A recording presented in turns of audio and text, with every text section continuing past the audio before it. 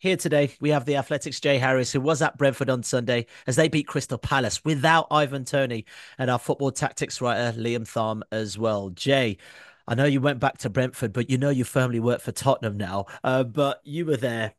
Brentford played without Ivan Toney on Sunday, you know, a player that's been so instrumental. So when the lineups dropped 75 minutes before kickoff now, which caught me mm-hmm. out, Toney was mysteriously absent. Um, so I thought it was a surprise.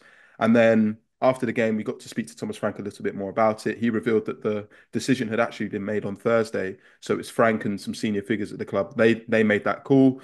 Um, Toney was in was on board with that decision. He didn't have a problem with it, and it looks like his time at Brentford is coming to an end, and that he's going to be going to Al Ahli in the Saudi Pro League, which I'm a little bit surprised by, and I'm sure we'll get into that a little bit more. Mm. Yeah, for sure. I mean, that's exactly what I want to ask you, uh, uh, Liam. You know, you know, Ivan Toney after his uh, return from his ban uh, from gambling spoke about wanting to play for a, top club, right?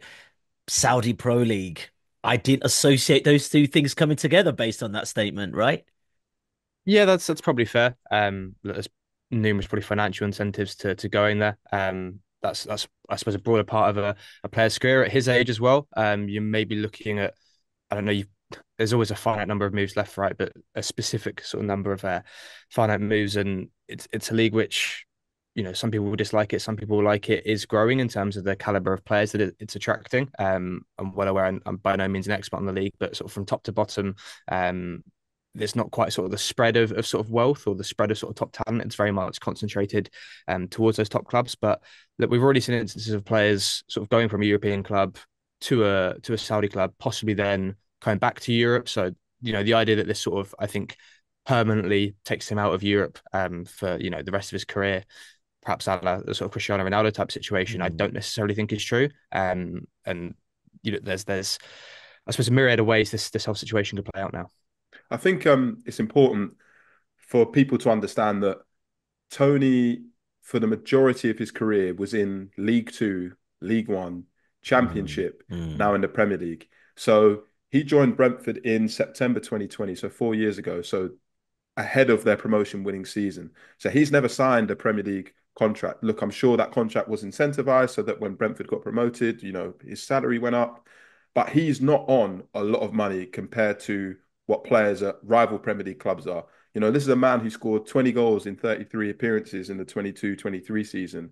And he was probably on way, way, way, way, way less mm. than strikers at other Premier League mm. clubs who were getting five goals that season. So I don't think it's as cut and dried as maybe some other players who've made a lot of money and have still decided to go to the Saudi Pro League, and it's a case of the rich getting richer. I think Toney is probably thinking, well, I actually haven't made a substantial amount of money compared to some of my peers. So I think that's why he's probably a little bit more tempted in this move than he would have thought. But I, I don't want to get too ahead of myself here, but for people who can remember when Toney made his return in January against Nottingham Forest, it was billed as this massive thing. You know, it's live on Sky Sports. Mm. Um, Brentford played the Undertaker from WWE's music before kickoff. He scored that free kick. He was smack bang in the conversation straight away. If you'd asked me after that game, where will Toney end up this summer? I don't think anybody, myself included, would have said the Saudi Pro League. So it's definitely mm. been a strange turn of events over the last six, seven months. Mm, yeah, definitely, and something I didn't see coming particularly. Now, uh, you know, Jay Brentford, I guess, have earned the right to say perhaps they're one of the best run clubs in, in the Premier League. Um, but I, I remember Brentford putting a hundred million pound price tag on, on Toney. I, I, saw that and I thought, right, I respect the guy and I respect what Brentford are doing right here. But you look at Harry Kane and what he went for to, to Bayern Munich. This is a seasoned international, and you've seen exactly what this player can do, right? Played in the Champions League, played in European football, you know, Mr. Premier League, Mr. Tottenham. Do you think that also had an effect on how clubs were viewing this sale of Ivan Toney potentially? Well, Brentford never officially put a hundred million pound price tag on him. What happened was Thomas Frank went on Sky Sports and they said, "How much do you think he's worth?" And he just pointed out that number sixes, Rice Caicedo, mm, mm, were going mm. for a hundred million, and normally strikers were more. So yes, he was being very cheeky. He knew what he was doing. Um, I think the important thing to remember is that that summer when Toney was banned, no one was going to come in at that price point for him. But at that point, he had two years left on his contract. He was 27 years old. He's just scored 20 goals. it might have seemed like a steep price, but actually compared to other forwards, um, not just strikers, but maybe wingers, etc. I think 80, 90, 100 million was not that unreasonable. I think in January, when Toney made his return, and there was a little bit of chatter about him then, Brentford were in a really bad position in the league. Mm. You know, Bryan Mbeumo was out injured for three months with an ankle injury. Yoane Wissa was at the African Cup of Nations. So they're basically playing Neal Maupay and Keane Lewis Potter up front. And Keane Lewis Potter's, I think he scored two times in the Premier League. Mm. So at that point in time, there was no need for Brentford to sell. The most important thing for them at that point in time is the money they get from being in the Premier League every season. So I think the the stars never really aligned there was never really a perfect time to sell Toney. It would have mm. been last summer off the back of that season, but the ban just complicated everything. In January, their league position complicated everything. They had to keep him. So I think the price tag was a factor, but then, like I said, the, the optics just were never quite perfect. Mm. I'm just thinking, uh, Liam, about what life looks like for Brentford. You know, now it looks like Ivan Toney's potentially le- leaving the club. You know, um, Jay just mentioned uh, Wissa and Mbeumo, um, who scored. You know, uh, scored uh, against Crystal Palace, and when he's on fire, he's brilliant. But Brentford have just bought Igor Thiago, and I saw him play for Brugge against Gent uh, last year. Actually, random trip to Belgium, and he was quite Hipster. decent. Yeah, I'm trying, man. I'm trying. but real talk, like he's now injured yeah. What does that look like, and how equipped are Brentford moving forward? Now it looks like their star strikers leaving the leaving the club. It's a fair way to look at it. I think it's actually something Jay and I sort of spoke about. I think at the start of last season, where um, there was a big thing, sort of from looking at some interviews with Thomas Frank. He kept repeating the phrase, sort of adding layers to the team, and sort of having this way where against sort of better teams or top six teams, um, they play a back five or a back three, they'd be a bit more defensive, um, much more of a low block counter attacking. And then in games where they felt they could compete, they'd go more 4 3 3. They look to attack more, have more possession. Um, and it was sort of, we sort of settled on this point that with with Toney, you get a really, really good top level attacker whose goal output is is really good. I, I wouldn't quite go as far to say great. He's had one really, really good season, but when you look at sort of his goal return, um, especially for minutes played, and you account for the quality of team he's playing in, with with all due respect compared to other top teams, um, he's good, but really specific. Um, you've got a player who is a really good sort of jeweler aerially, someone who's not always going to sort of drop in and, and link up. Probably needs to play with someone off him, um, either sort of a, a ten or a sort of second striker. Um, but it meant that they're probably not quite as flexible as they could be now in attack. When you see, especially when you've got Schade fit um, with Mbeumo and Wissa as well, which I know isn't always all the time, and you need to have Plan B, Plan C, etc. But um, I think one thing I have enjoyed seeing, and I think the goals against Crystal Palace really sort of sum this up, or the first one especially, how fluid and dynamic Brentford can be actually sort of playing through the thirds. Now, don't get me wrong, that's a much harder way to play in the Premier League to survive than it is by trying to play maybe slightly more underdog football. Um, but I think the overwhelming sort of notion I got from Thomas Frank was they understand that if they want to push on and develop, you can't always play 3 5 2, low block, counter attack. There's a time and a place for that, but their aspirations clearly are sort of pushing further on. And they both had good returns last season, Wissa and Mbeumo, in terms of goals and assists. And as Jay says, that's, you know, with injury, with absences. Um, so it's it's good enough, I think this is what people forget. When Brentford were one of the most stylish teams in the championship, shall we say, everybody was raving about, you know, the BMW, Benrahma and Mbeumo and Watkins.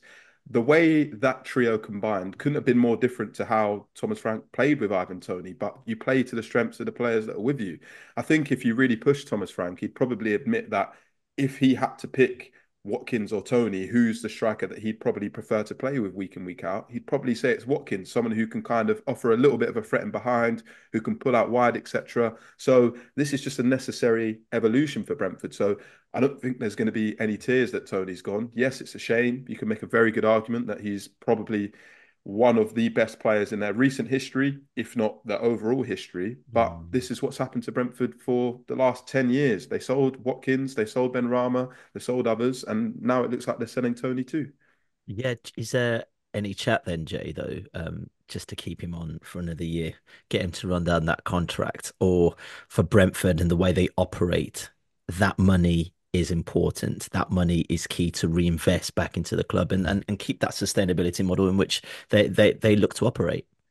Yeah, I think staying for one more year and running down his contract only benefits Toney. Brentford are a very well-run club, as we've mentioned a couple of times, and their finances are in a pretty good position. But the only significant sale they've made during their three or so years in the Premier League so far is David Raya to Arsenal for 27 million pounds. Meanwhile, they've spent, I think it's 36.5 million euros altogether on Igor Thiago. I think it's 27.5 million pounds, including add-ons for Carvalho. Mm. Then they've spent at least 20 million on Nathan Collins, Schade as well. Well over 100 million pounds on different players. So at some point, they do need to sell somebody. And I think their club record sale is still Ollie Watkins from mm. four or five years ago.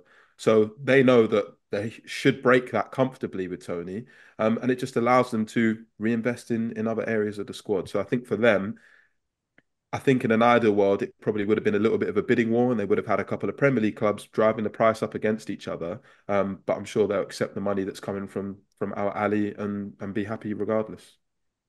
Okay.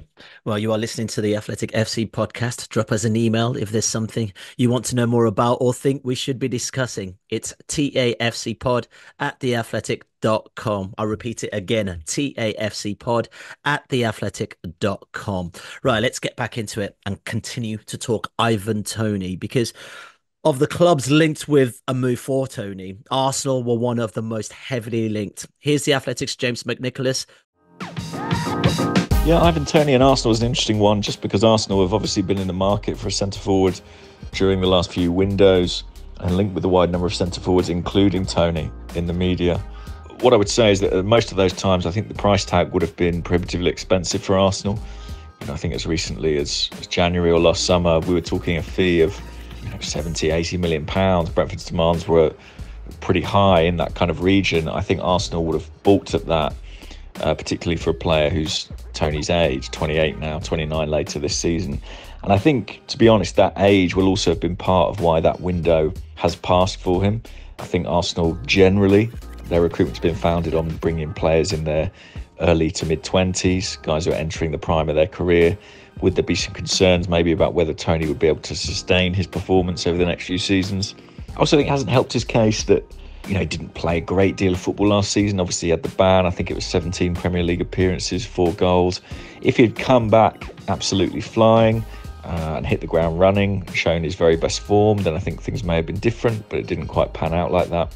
Nonetheless, I am surprised that uh, Saudi Arabia appears to be the destination. I thought there would be a taker within the Premier League, even if, for various reasons, I didn't necessarily think it was ever going to be Arsenal. Yeah, I guess in terms of profile, 28 for a striker, probably, as James McNicholas just mentioned, was slightly uh, beyond Arsenal. But you can kind of see how it could work there, Jay. He's ready, great at link up play. Um, I watched Arsenal away at Brentford last season was one of the games where t- uh, Toney came back and he was still trying some audacious stuff against Arsenal from the halfway line. I remember that very vividly. You know, um, you can see how he could work at Arsenal, surely.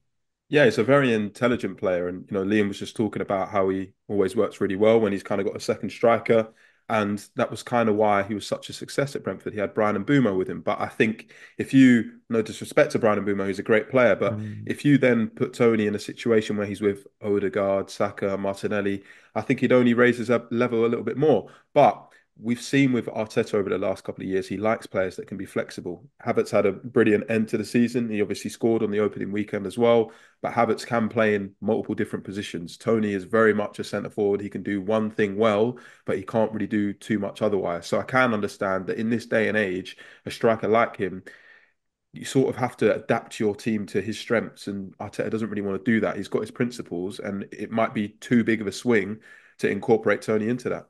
Yeah, do you buy that, Liam? Yeah, I think I think that's fair. Um, and you have to look at where there's gaps in a team or not, or teams that need that kind of profile. I think Arsenal specifically as well have probably got someone who's Havertz pretty actually a lot more similar to Toney than I think a lot of people sort of realize. They probably don't play in entirely the same way, but I think they fulfill a, a, very similar role, and especially them in terms of playing with real sort of wide wingers, you know, and how they like to get their mm. wide overload to being really a box forward a lot of the time. To actually, if you look at like a shot map for Kai Havertz, I think a lot of people are surprised at how much for someone that often gets labelled as a, a, false nine, really tends to get chances like a like a traditional striker. Um, We've obviously had other strikers that come through at Arsenal where you know they didn't need or like or want to keep following Balogun. Um, he was then sold. You've got someone like Nketiah who can also be that back to goal sort of type profile. Mm. So it's it's tricky. I think strikers feel like they're getting increasingly more specific. And as Jay says, Arteta's probably a good example of someone who I wouldn't say it's necessarily fixed, but clearly has a style that he's he's working towards and would rather and look, Arsenal now and these top teams are in the luxury where they've generally got quite good academy systems, so they can mm-hmm. develop their own talent or they can sell it on to have more funds, and they've got the finances from being in repeat years of Champions League football and and, and success, where they can now say. We don't just need to buy this this guy and sort of make it fit. Whereas Brentford might have to do that a little bit more. We can say, actually, we'll, we'll wait until the right one comes along, and then we can sort of throw all of our, um, yeah, throw all of our money at, at that player. Yeah, but you mentioned Kai Havertz, and by the way, Kai Havertz is doing the job for Mikel Arteta. But in terms of shot accuracy and probably goals scored, you probably think Ivan Toney offers just a little bit more.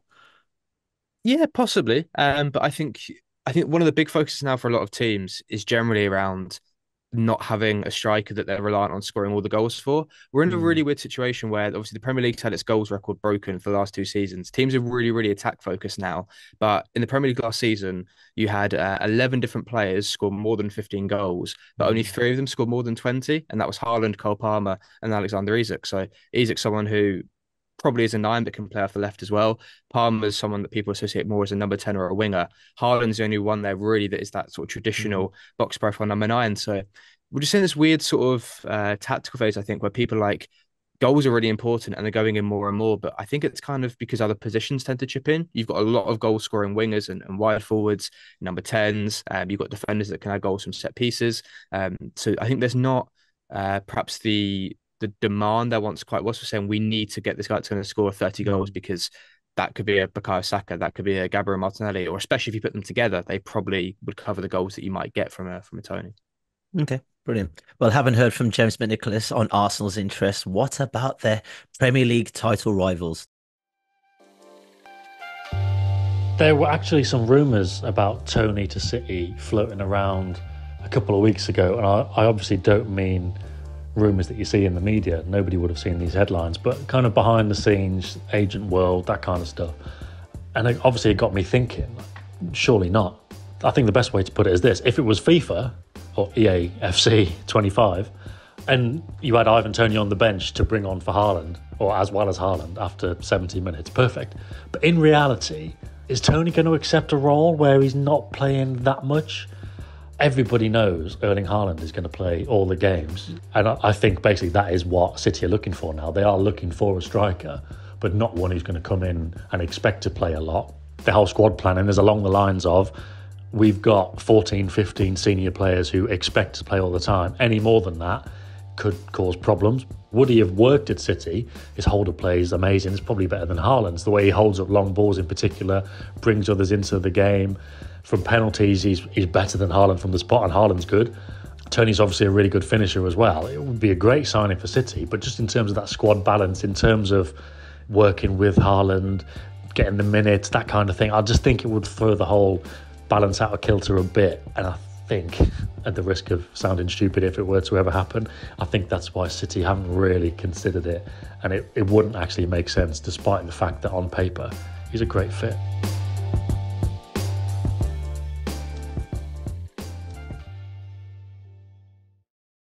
That was Sam talking about how Ivan Toney probably couldn't work at Manchester City. Uh, Liam, you could probably understand it with someone as prolific as Haaland. I mean, where does he even fit in? They've just lost Alvarez to Atletico Madrid.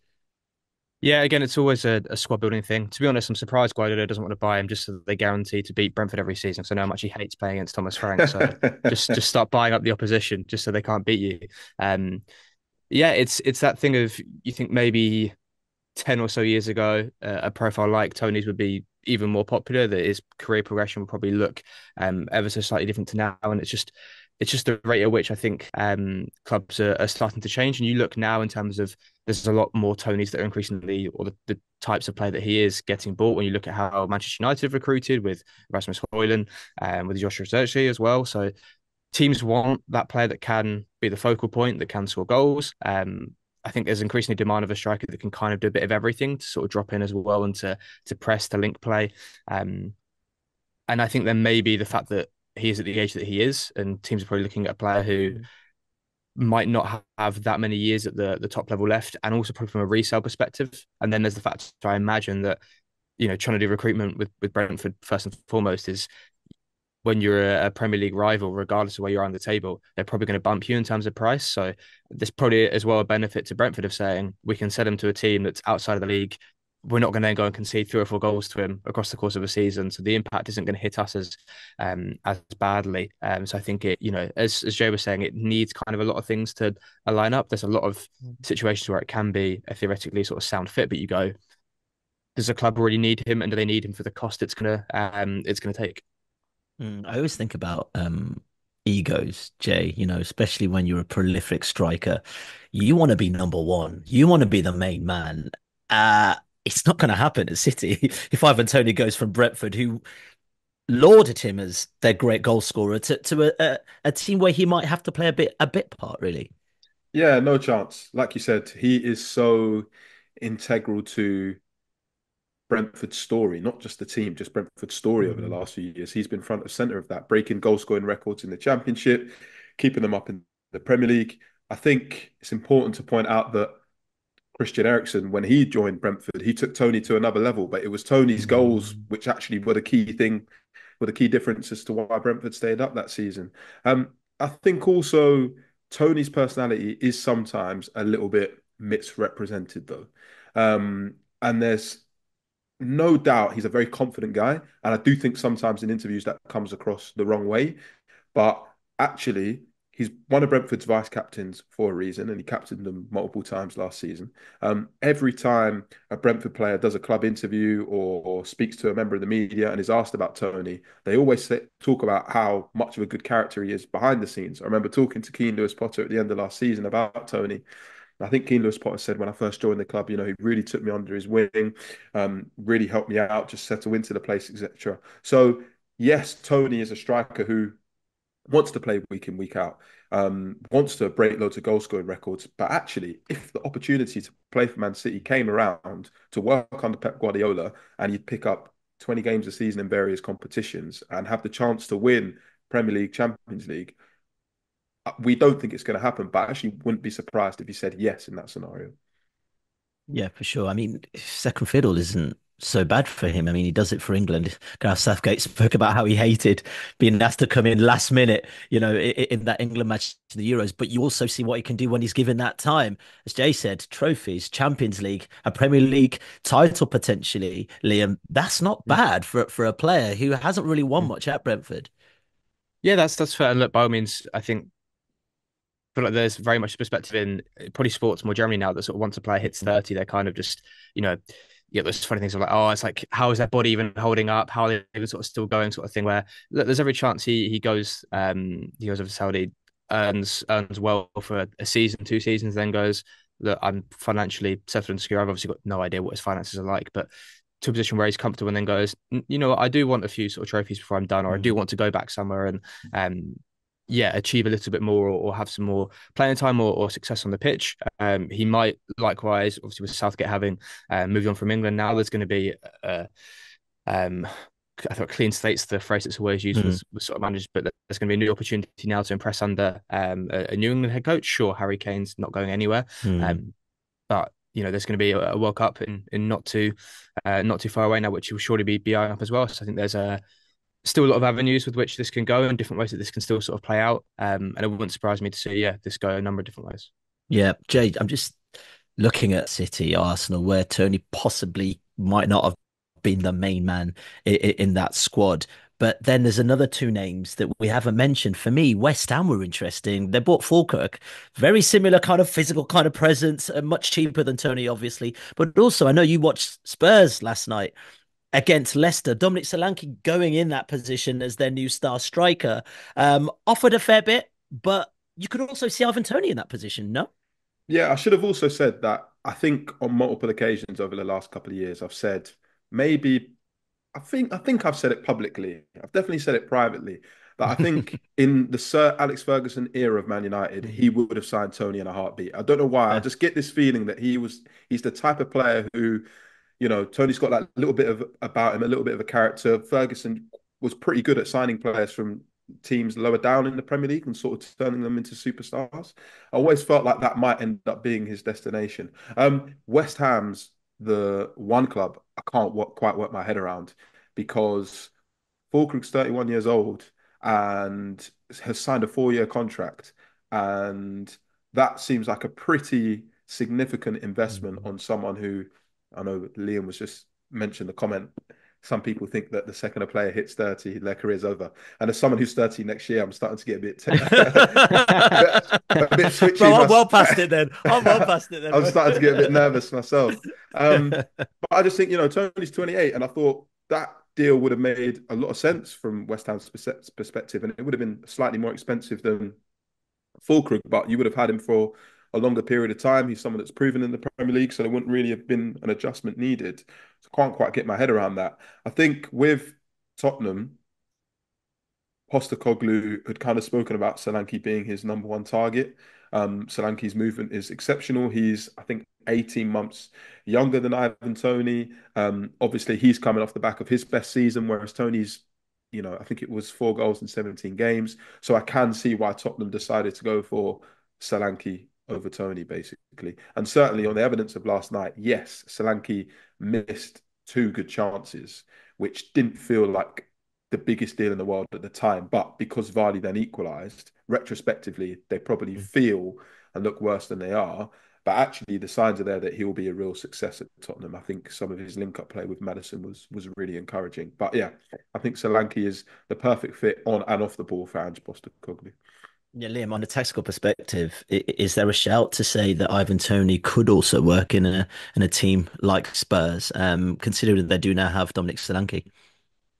Yes, Spurs are really specific, and if fairness, it's quite a feature of, of Postecoglou's teams. Where I think if you look at his Celtic team as well, his his strikers tend to come out pretty much bottom in terms of touches. The job really is sort of stand occupy defenders, be in a mm. position to to attack cutbacks. It's why he managed to mix sort of between Richarlison and Son Heung-min at the start of last season, and were just scoring sort of the same cutback goal from from either sort of side on repeat of just you know fizzing a low cross and, and being there. Um, I think Solanke is probably a little bit sort of more versatile um, in the way that he can play. Um, again, very much played an isolated role as a as a number nine with a, a number ten behind him. Um, at Bournemouth, I think, and I recall him actually. I think this was at Brentford um, earlier on in the season, scoring a really really nice goal where he got released in the channel, sort of took his time one v one, managed to shift the ball wide. He's just kind of that striker that can, yeah, play in so many different ways, score a real sort of variety of goals. Um, and then I think if a club has a, a number one choice like that, um, and obviously he's not coming with any of the caveats that Toney is in terms of um, mm-hmm. whatever's happening off the pitch. Um, I think we can't ever underestimate that from a club that's going to spend however many tens of million millions of pounds on a player to say, I need to know that for the best case scenario, I'm going to get this player sort of all the time. When you think of how many injuries as well Spurs had last season, um, so yeah, I need sort of guarantee with this with the striker. Um, so I think Postecoglou was saying quite quite honestly on on Sky last night that um, their depth just kind of wasn't wasn't good enough or good enough to be at the level that they wanted to be, which felt quite damning for him to honestly to come out and sort of say publicly, especially pre-match. Um, but I think that kind of explained why. Right. Let's move on to th- this conversation around the the, the Saudi Pro League. Uh, we mentioned at the top of the pod that Ivan Toney expressed his interest to to to play for a top club in the Premier League. Um, Jay, look, there are a couple of players in the Euros this summer. N'Golo Kanté, Carrasco, for instance, that ply their trades in in leagues that aren't as massive, like the Saudi Pro League. Uh, Cristiano Ronaldo, another one. Has this hindered his prospect of, of playing for, for England again if he does end up playing in the Saudi Pro League, Ivan Toney? I think it does, but obviously it's hard to tell until Gareth Southgate's um, successor is appointed. So when Henderson moved to Al Ettifaq last year, he was called up, I think, for the September internationals. But obviously, Henderson and Toney have very different places in Southgate's tenure at England, right? Henderson was one of um, Southgate's key lieutenants um, played at the 2018 World Cup, 2022 World Cup, at the Euros, etc. I know he missed the tournament just gone, but he was someone who was consistently there from the beginning. Whereas Toney's someone who's played, I think, six times for England and has only mm. started once. So it feels like a really risky move to step away from the limelight in the Premier League and go to a league where you're probably not going to be watched nearly as much. People aren't going to be talking about you as much. And considering his positive contributions to England at the Euros, you know, it looked like England were out when he came off the bench against Slovakia. All of a sudden, he occupies a defender from a long throw in. Bellingham equalises. Then he scores that penalty against Switzerland in the quarterfinals. It feels like he has a role to play in the next tournament cycle for the World Cup in 2026. And I think just going to the Saudi Pro League probably hinders his chances of doing that. So I think it would be a shame if he takes that decision. Yeah, and, and the options available, Liam, um, Ollie Watkins, another Brentford graduate, um, you know, Cole Palmer, Jude Bellingham. I mean, we talk about spreading the goals. There's a fair few people that can also contribute if Ivan Toney is not in that squad. Yeah, England have got a real, I suppose, a problem of abundance now of, of real sort of talented players. You look at the 21s that have just come off the back of um, winning a Euros as well. You've got likes of Gordon, who played as a false nine in, in that tournament, and likewise, sort of I think got about two or three kicks of the ball um, out in Germany. So I'm I'm mixing it to be honest because I think what what Toney needs right now is is regular game time um, and to get you know honestly just back scoring goals again. I think regardless of where you're mm. playing, if you're not doing either of those two things, then coaches aren't going to look at you in the first place. Um, the Henderson example I think is is useful, but I think again, it, this is if memory serves, this might not be quite correct, but I believe the reason why Henderson wasn't considered was sort of more of a, a, physical thing. They were saying they weren't sure of the intensity, whether he could still sort of compete. And I suppose that's even more important for, for a midfielder in terms of the pace of the game. And with someone like Henderson, who's going to do a lot of sort of box to box play. I wonder for Toney, it's a little bit easier if you're saying, okay, if you go and score hypothetically 20, 30 goals in the same number of games. Uh, sure, if it's a if it's a lower quality league, um, there's a, a, caveat on what that might translate to elsewhere. But if you've been regularly scoring, um, and again, he I think he'll, he'll, possibly always have a role just because of how good he is as a penalty taker. Mm. But like Southgate, kind of reading between the lines, said that after the shootout where he said, "Look, I said to Toney, his role might be." Just coming on and, and taking a penalty. Um, if there's 26 man squads in the next World Cup, um, which I imagine there will be, um, international football is as a knockout format is always going to mm. have a place for that. So um, it might close the door a bit more, but I think it it will never be completely shut because uh, the way international football works, people will inevitably get injured, people will drop out of form, people will come into form. All I hear from sort of selectors and, and coaches is you can never cut someone out entirely, or you don't want to cut someone out entirely because you never know when you might need to sort of fall back on them. The Benjamin White example is probably quite a clear one of England sort of needing more fullbacks all of a sudden going into a, a major tournament. Um, so I think, yeah, for for all involved, that would never be a, a tie that's completely cut. Um, but I agree with what Jay's saying. I think you, uh, yeah, it nothing competes to doing it in the Premier League on the biggest stage, right? I do yeah. think quickly before I think we're going to finish shortly, but I do think it will be a shame if he goes to the Saudi Pro League because he is a box office player. I think he's one of those players that opposition fans love to hate but secretly probably quite admire mm. because we're always talking about him.